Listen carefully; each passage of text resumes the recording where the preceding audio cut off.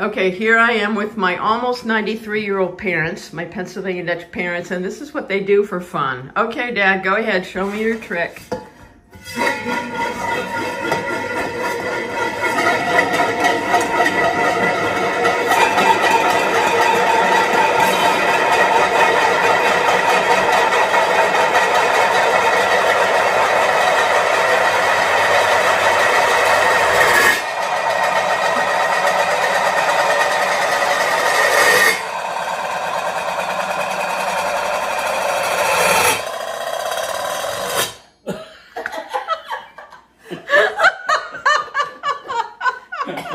you guys are priceless.